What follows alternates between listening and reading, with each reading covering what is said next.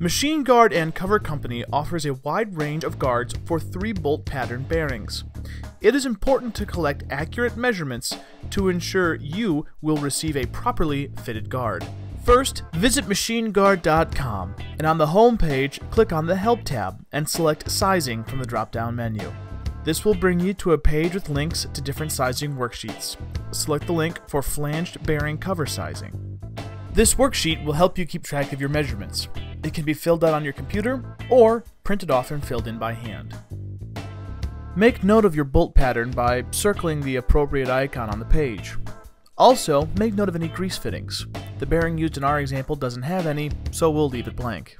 Next, we need to find the length and width of your part. On this bearing, all the sides are the same length, meaning that these two measurements will be the same.